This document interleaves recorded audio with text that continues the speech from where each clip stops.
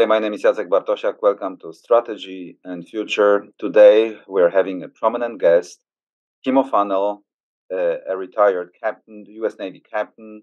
Uh, he's uh, the last post was a chief uh, intelligence officer for the uh, United States Navy, uh, Pacific Fleet.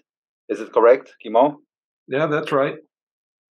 And we will be talking, of course, about the the future and the presence uh, and at the present, and of course the uh, potential contingency in the Western Pacific. And let me start out immediately by the following question.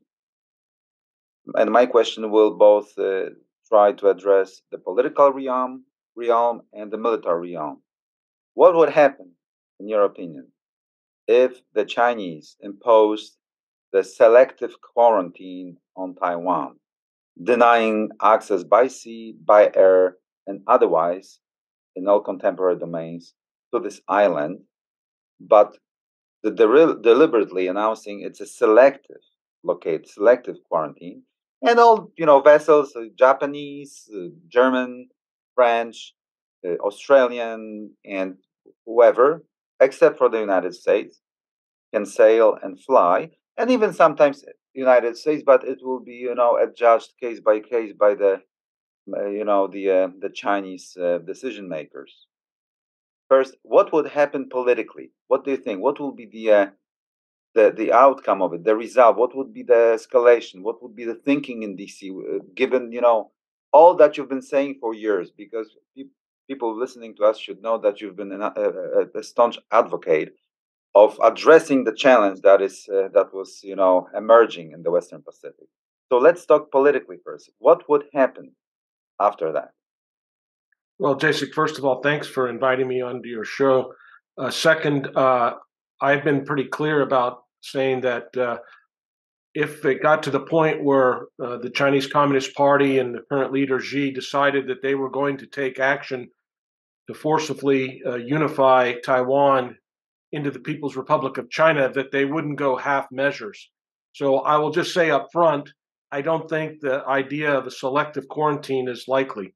I think once they decide to go, they will go full force uh, to ba- basically to counter what's happened to Putin in the Ukraine. They don't want to go through something like that, and they've talked in the past about short, sharp wars. So I think that's their modus operandi if they decide to go. But to your question, I think uh, if there was a quarantine that said the United States uh, couldn't enter ships in and around the Taiwan Strait or to be to resupply, if you will, uh, Taiwan, I think that would be uh, almost taken like it was, I think, in 2014 when the Chinese declared their East China Sea Air Defense Identification Zone. It was the, it was a declared statement, uh, and everybody kind of acknowledged it, and then kind of smirked or laughed about it in a, in a sense because it it had no impact.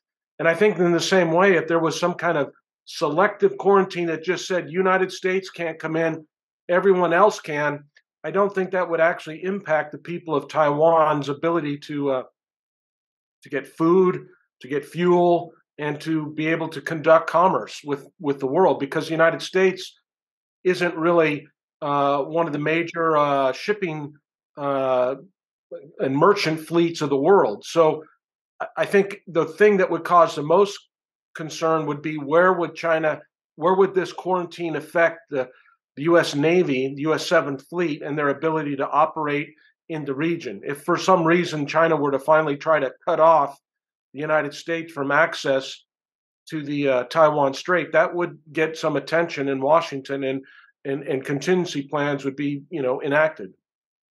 Yeah, well, but, but let me explain why I'm I'm you know trying to, to to to sell the case for quarantine, because in the grand scheme of things, I don't see a rationale for the Chinese to initiate a very risky amphibious operation to seize the island that is offshore. Instead, it can achieve all geopolitical, uh, you know, outcomes uh, that they would like, they, they would desire by undermining the US position in the Western Pacific by showing who is in charge of those waters. And selective quarantine could be good enough, Kimo, I think, because, you know, it would be upon the United States to form up a coalition that might trigger the Third World War. So they might be reluctant. So, such a move politically by the Chinese Communist Party could drive the wedge and split up the interests of Jap- Japanese, South Koreans, US, Germans, and stuff, because people always want to preserve peace and globalized system of trade. And it would be upon the United States to, to change it, to you know, to, to, to break away with it, sort of. And uh, the Chinese will always have a, a maneuver space to negotiate the, the, the transit and people will seek so those negotiations. So I think politically, United States will be in a very difficult situation with each passing day when the population of Taiwan would be, you know, suffering by that, will be threatened by that, and that's a show of force. Don't you agree with that?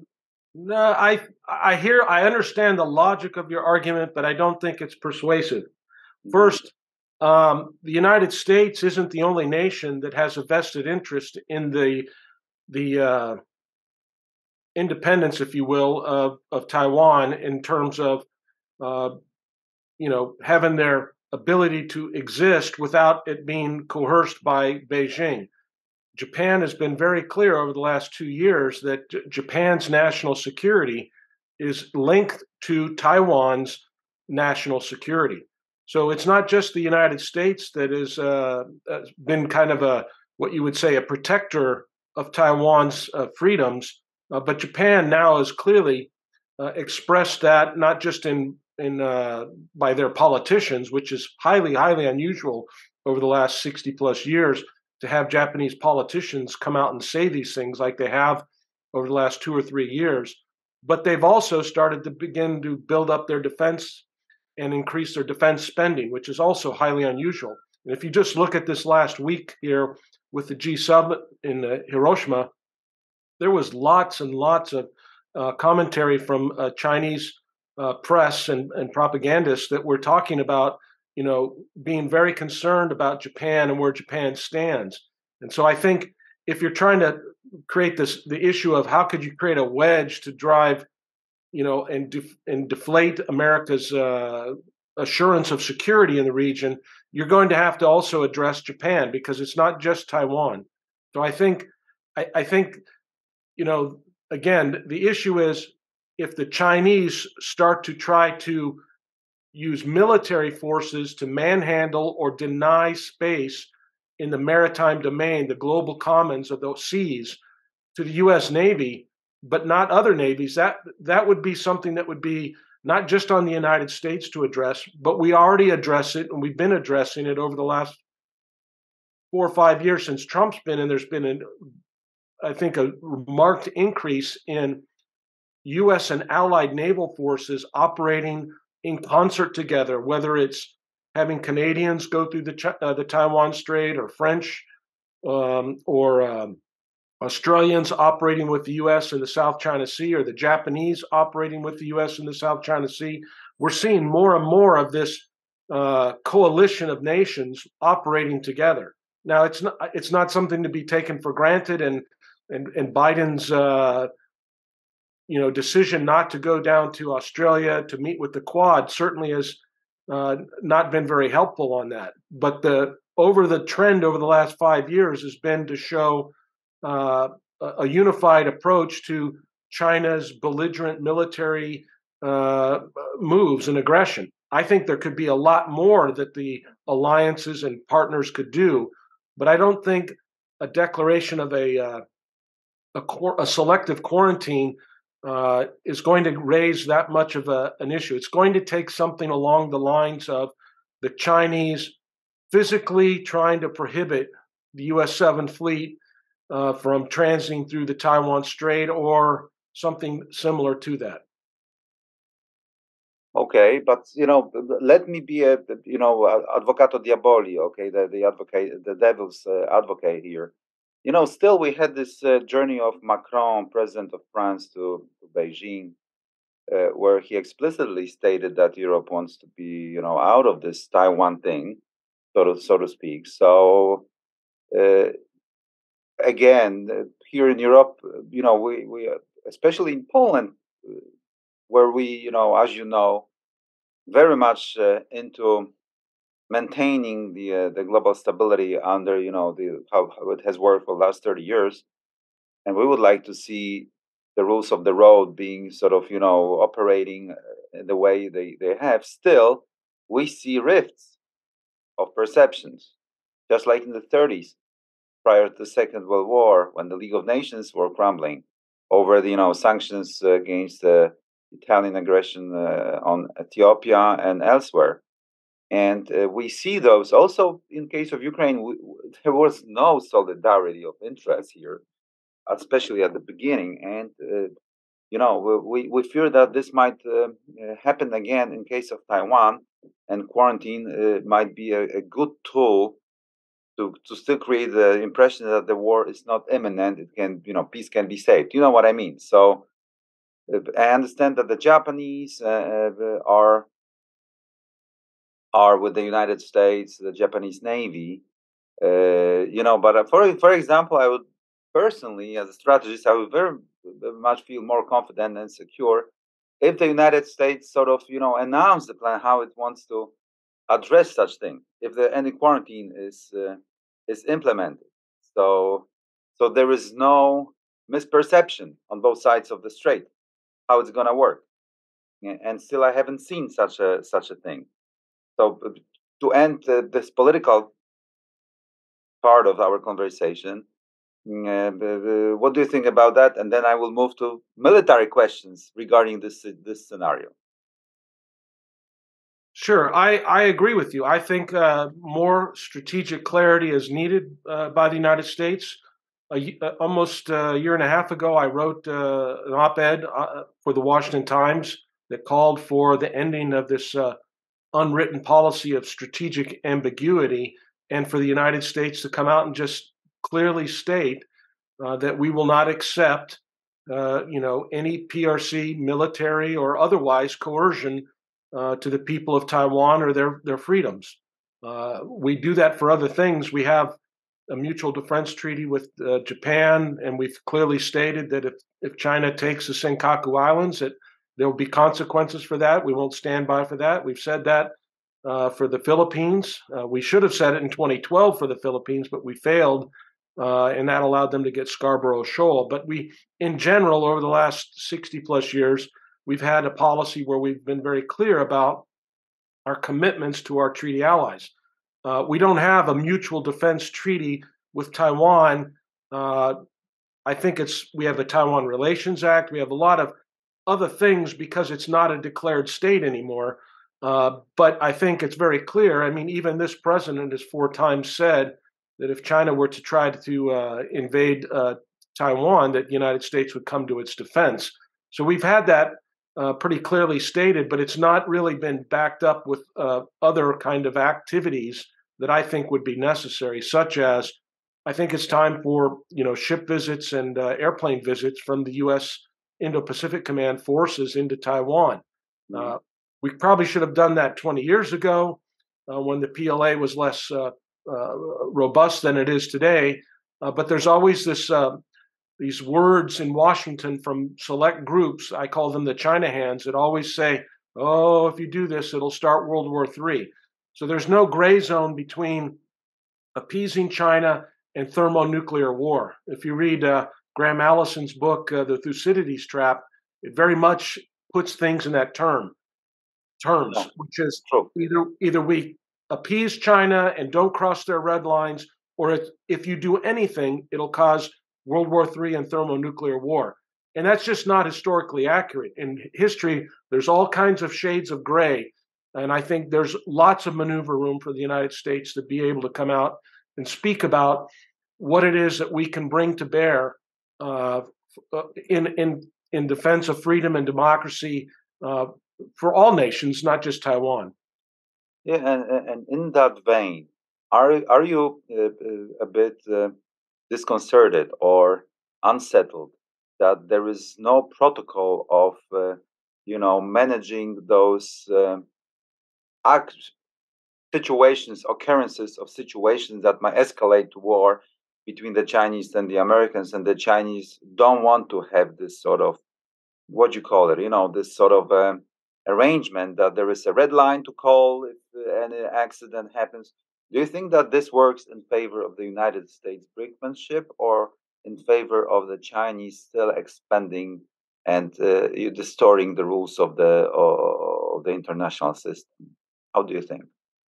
Well, we had uh, essentially since 1979, when we switched our recognition from Taipei to Beijing, the United States engaged basically 40 years of uh, of engagement with the PRC, the People's Republic of China, the Chinese Communist Party, and we, you know, ass- assess them and help them get into the World Trade Organization, uh, the World Health Organization, all kinds of international organizations. The United States helped the PRC and and, and tried to uh, cooperate with them. Uh, if you read each year, the U.S. Department of Defense puts out an annual report on the People's Republic of China and the People's Liberation Army. And if you go to the back of those annual reports, you'll see appendices that list all the engagements that the Department of Defense has done with the PLA. And if you read those for the last 23 years, when the first report came out in 2000, you'll find that there's literally been tens of thousands of exchanges between United States Army, Air Force, Marine Corps, Coast Guard, and Navy with their counterparts in China. And the same can be said for the Department of the Treasury, the Department of Commerce, the Department of Education, the FBI, all kinds, the Justice Department, all elements of the US government have been trying to do people to people exchanges and other kinds of coordination and cooperation. And we did that for 40 years, as I said. And over those 40 years, there was an assumption or a, a hope that the PRC would recognize the benefits of the international system that was established after World War II, and peace and stability could be enjoyed by all nations, and that China's could economy could continue to grow as everyone else's, and that things would normalize, and we could get along, get go along with buying and trading, and just getting richer and fatter, and all of that. Well, that didn't happen. The PRC said, no, we don't want to be part of the Washington consensus. We have a Beijing consensus, uh, and we're going to build, and we're going to build our strength and our power. And they have done that. And now they have one of the largest uh, militaries in the world. They certainly have the largest navy in the world today, and they have great capability. And they haven't become more moderate. They've become more belligerent, more uh, threatening to Taiwan into India, into Japan, into the Philippines, into Vietnam. Uh, so everything that we assumed about engagement has turned out to be a false uh, regard. So then the Trump administration came in and they recognized that and they said, well, we're not going to chase after all these engagements. Now, they didn't close off all engagement, they just simply reduced the scale of it by a little bit, actually, not even that much. If you look at the DoD reports from when the Trump administration was in, the number of, military to military engagements still remained very high, in my opinion, too high. Uh, so now what's happened is that China has now, since in the Biden administration, China's come in and said, We know how to manipulate you. We're not going to talk to you. And what do you see over the last 24 months plus? You see, especially with uh, Secretary of State Blinken, but not just with him. You saw the Indo PACOM commander on PBS earlier this year, Admiral Aquilino, and others say, I really want to talk to my counterpart. I've been trying to talk to my counterpart, yep. but my counterpart won't talk to me. That's what I'm saying. That's what I'm saying. So China has China knows that they have got somebody, as we say in fishing, you got them on the hook. So they're they're playing us. And the best thing that we could do on the US side is to say, fine, I'm not talking to you and and we'll leave it at that. There's mechanisms there. The hotlines, as you mentioned, are there. They have in the naval arena and in the air arena, we have these CUES code for un, uh, unencountered, unexpected encounters at sea. So there's protocols in place, but it's not the mechanisms that are the issue. It's about the strategic national outlook. And Beijing is using what they call comprehensive national power all elements of their all levers of their national power to achieve their national strategic goal which is to become the world's great superpower on 1 October 2049. And part of that, achieving that goal, is to have the most dominant economy, the most uh, dominant military, and the most dominant diplomatic corps, and to control the world's soft power through information and, and, and culture. And they're they're on an agenda to achieve those goals. And part of it is the restoration of what they believe is their territory, which is why Taiwan is so important. Yeah, Kimo. You know, but, but just you know, moving into the you know more granularly. So, because there is a lot of uh, misperception uh, across Europe as uh, as concerns the uh, the buildup of the, the, the Chinese Navy, its capabilities. Could you tell uh, our audience more about the buildup of the Chinese Navy, but even, of course, less about the numbers, although they still matter, but what how this buildup is betraying intentions and how you see this buildup and how they perform uh, from the perspective of the you know operations uh, capabilities. As a chief uh, intelligence officer uh, sees through those things not wikipedia you know numbers of ships and stuff but tell us more of how you you know how professionals look at that at those things you know things Sure. Well, I think numbers matter uh, in ultimately because you have to go back and you have to ask look at what was being reported and assessed by experts like me 20 25 years ago 10 years ago 15 years ago and no one ever uh, predicted that the chinese navy would be the biggest num- navy in the world by number of platforms so in fact when i was making assessments like that that they were on this trajectory many people ridiculed that and said, oh, that's never going to happen and it's decades away. So now we're there. The Chinese Navy actually has more platforms than other other navies. And so the question is, how did they get there with us not understanding that? And then when you add in like things, other metrics like tonnage, it's not just the number of ships that the United States is losing to China on. China is producing four or five ships for every one that the United States produces. China produces five, the United States produces one. That's for like the last 10 years. Also in tonnage. So we produced one aircraft carrier over the last decade, China produced three. They produced in the last three years, they produced seven large deck amphibious warships, three uh, uh, type 075s and the, the amphibious helicopter carriers, the LHAs, and uh, then the type 071s, uh, the smaller LPDs.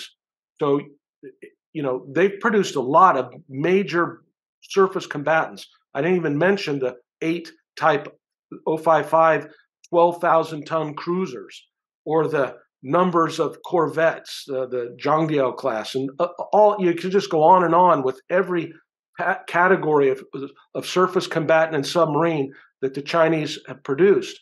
And then you start looking at the components inside those platforms. And they're now carrying all of almost all of these major new surface uh, combatants are carrying uh, long range supersonic uh, anti ship cruise missiles like the YJ 18, 300 kilometer range, longer than anything that's in the US Navy. So now the US Navy is now playing catch up to trying to figure out how to get uh, anti ship cruise missiles into the U.S. Pacific Fleet and, and Navy wide around the world, but specifically in the Pacific Fleet because China, in their design system, going back now over 25 years, they they talk about what they call counter intervention. So they built and designed a military force that's designed to block away and keep the U.S. from being able to operate its platforms in defense of Taiwan. And our number one platform is the aircraft carrier.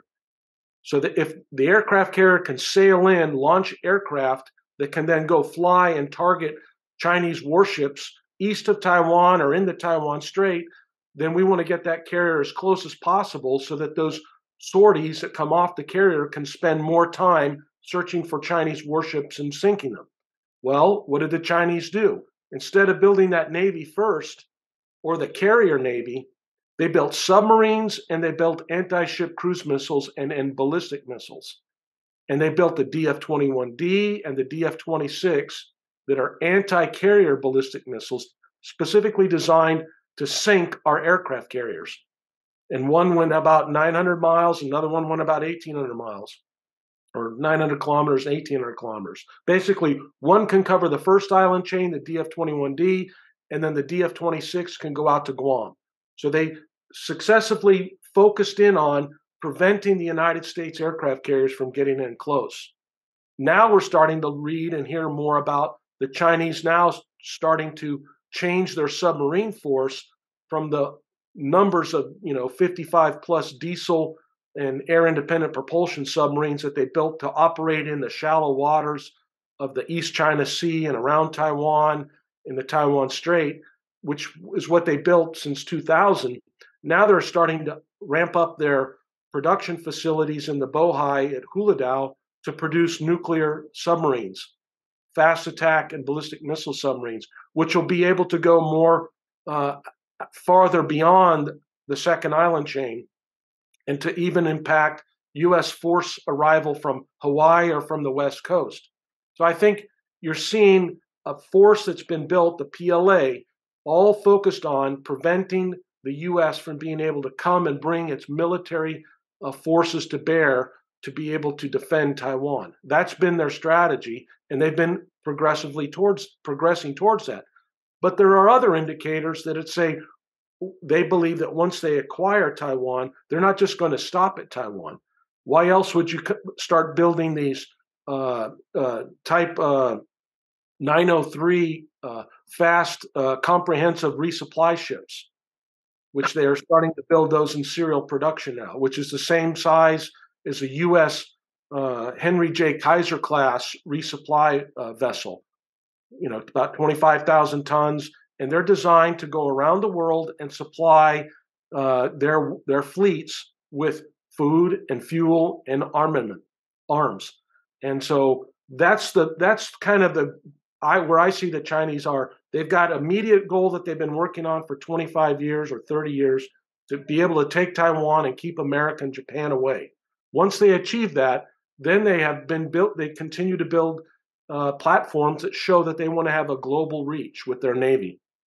Sure, sure. That's why they are building the the fourth fleet in the Indian Ocean and uh, with an eye on the Indian Ocean and uh, communication lines to the Middle East, Europe, and Africa uh, especially given the fact that the Indian Ocean is uh, the most distant from the for the U.S. Navy. Maybe that's why the U.S. Navy wanted to to make this deal with Australia and station uh, U.S. nuclear submarines in Port Stirling, uh, uh, west coast Australia, to to intercept interdict the, the, the maritime lines of communication of the Chinese Navy in the northern Indian Indian Ocean.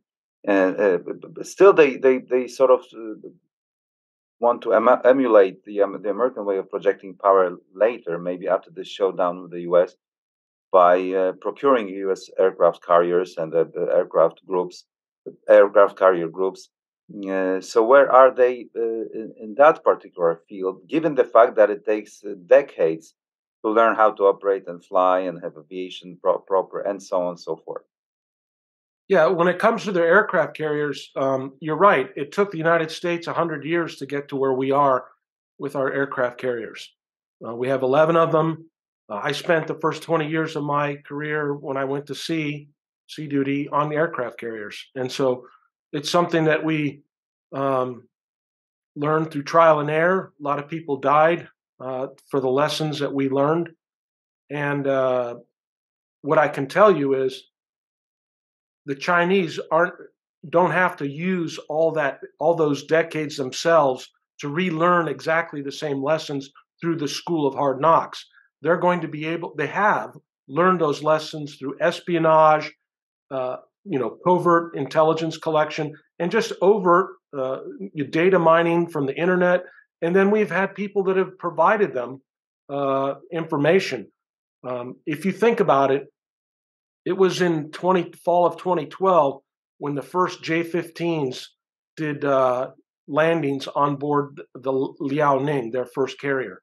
And here we are 12 years later, and they have a third aircraft carrier, the Fujian, who's just done mooring and, and engine power testing here this last couple of weeks and is getting ready to be, you know, uh, commissioned and put in the, you know, it's in the water, but commissioned and start to operate an air wing using electron electromagnetic aircraft launch system.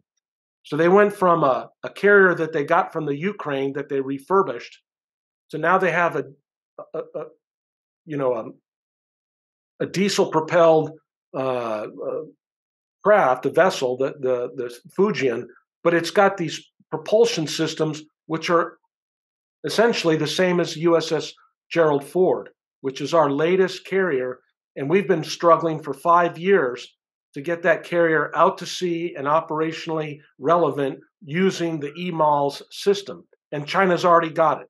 So they they essentially took 100 years of technology and compressed it into 10 years. And that's what they've done with a lot of technology in the military arena. But in the carrier arena, they've done that.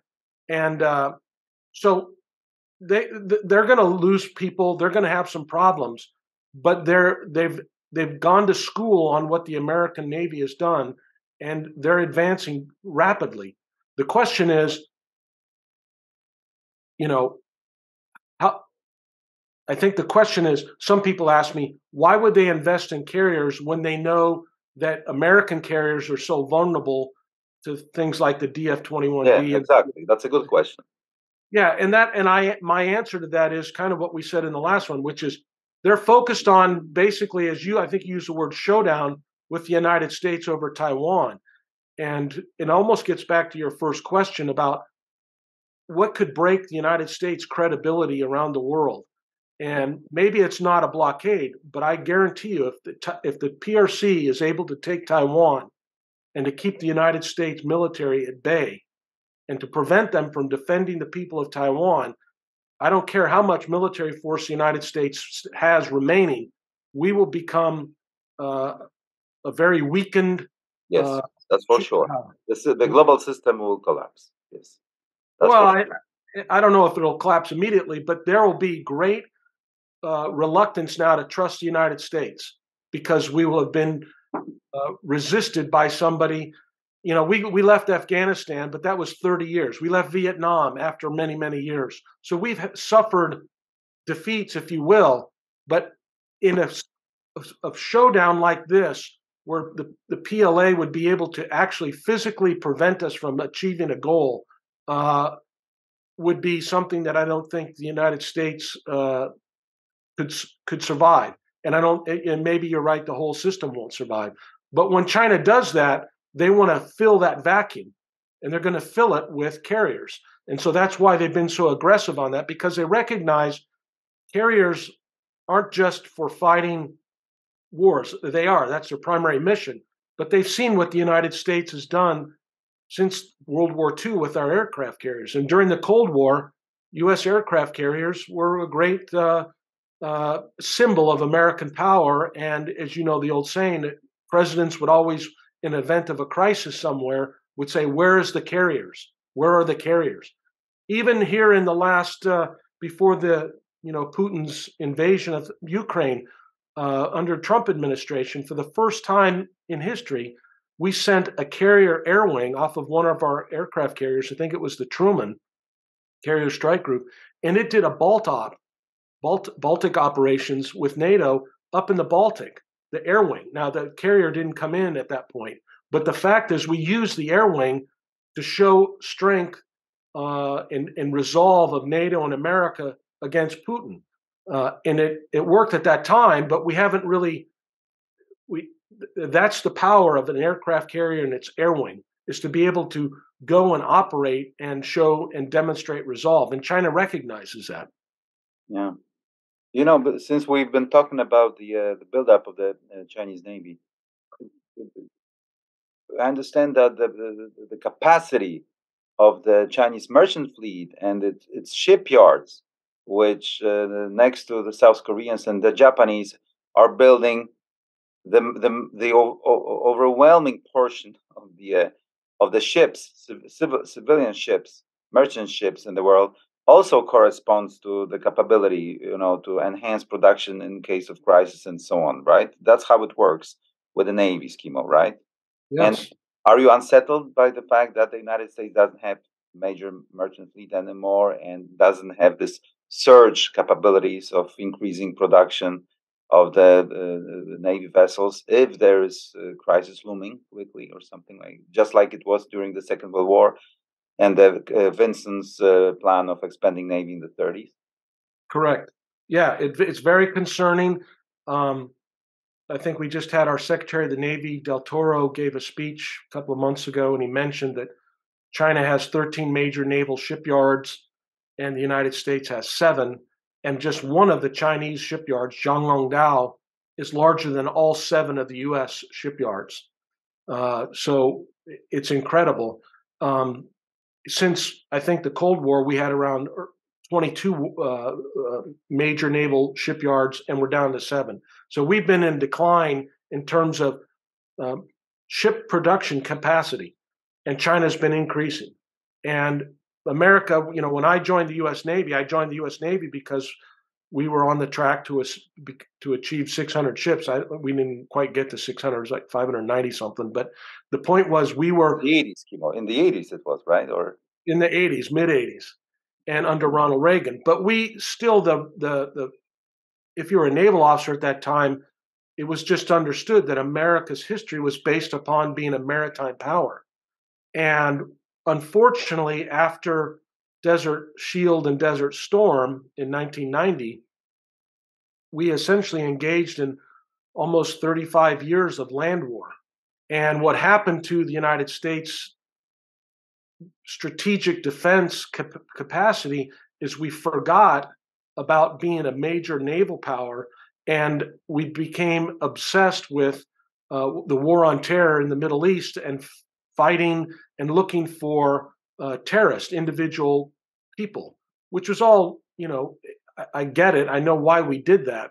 Uh, but we kind of forgot that we needed to do what we did in the Cold War, which was to maintain both a large ground force and a large naval force.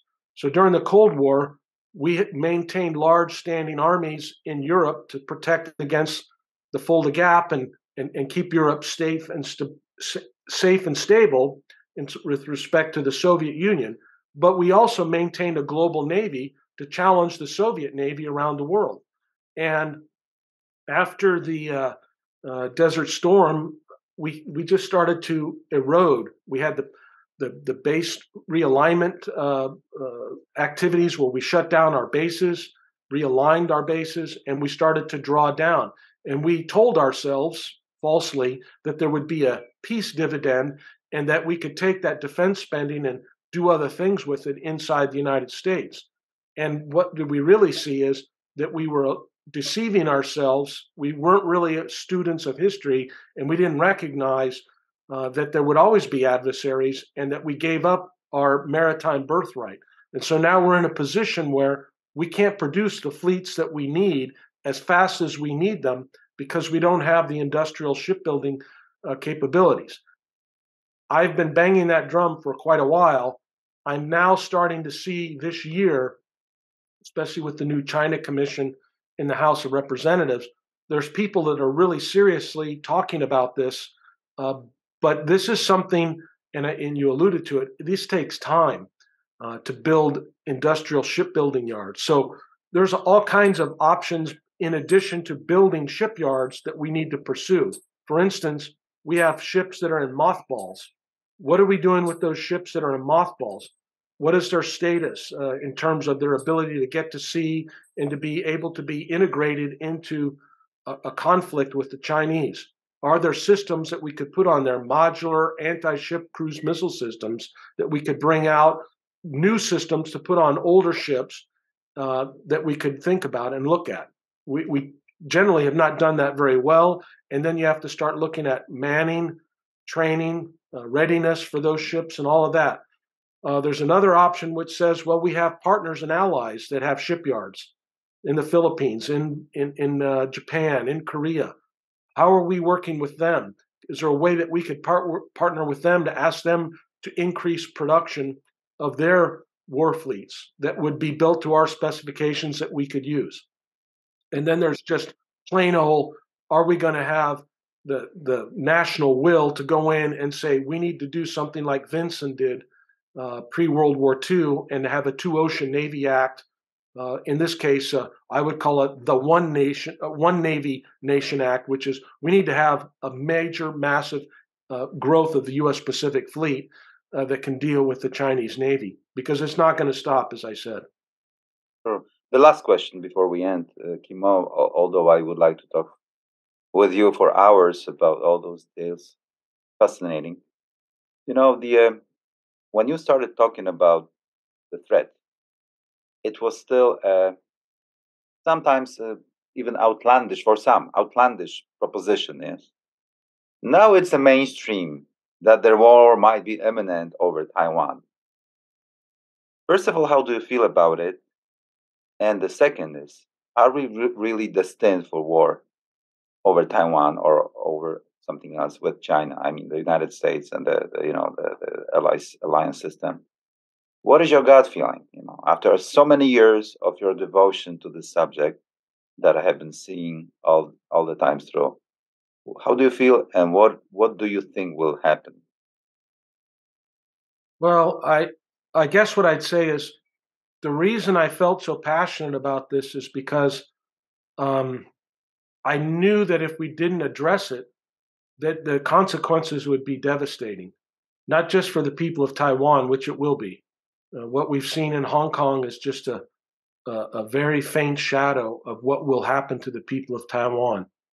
Uh, we should look to Tibet or Xinjiang for even even more close uh, consequences of what, or not consequences, what, what it would look like if China takes Taiwan or tries to take Taiwan. It'll be devastating. And so I wanted to avoid that. And it'll have ramifications throughout the world uh, and, and not least of which to my country, the United States of America. But it'll impact people in Europe, as I tell European audiences all the time. If you think that you can just sit by and watch a war between China and Taiwan not have an impact, well, then that's what the people of Asia could have said to you in Europe about the Russia and Ukraine, which we all know is not true.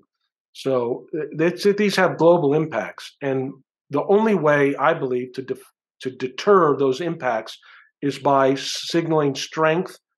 As Reagan said, peace through strength. And so the only way to deal with hard men in Beijing and the Chinese Communist Party is to is to sell, tell them if you want to go to war, I will go to war and I will kill you. Uh, and, and, and people don't like to talk like that. And as you said, 14, 20, you know, many years ago when I started giving these warnings on China, people didn't want to hear that. First of all, they thought it was crazy. They said there's no way China could ever achieve what they've achieved. And then now that they're there, uh, people don't want to. People, the same people that denied that it would happen, are now saying, "Well, there's no other option. It's we're it's inevitable. We just have to go along and allow China to do what they want to do." And that I don't agree with that either. So I think we're in an existential situation where we have to we have to say, do we believe in the principles that America's founders wrote about and enshrined in our Constitution and our Bill of Rights? Do we believe that it's the right of every person to say whatever they think without fear of retribution? Do we believe that people have the right to assemble together and to not have the government tell them that they can't meet together? Is it right to be able to go to the church that you want to go to church with or not to go to church? Is it right for you to be able to own a weapon to say, I want to defend my personal property and my personal life and my personal space? Do I have the right to not have the government come into my home and search it without a reasonable warrant? And all the things that are listed in our Bill of Rights. If we believe those, if we really believe those things are true, then we have to look at the People's Republic of China and recognize that they don't believe in that and they want to take those liberties from us. Which is why I very much admire the people of Poland because of what you and your country have done here in the last two years or year and a half with uh, with Putin in this in this illegal invasion, this immoral invasion of, of Ukraine. You people have stood up again.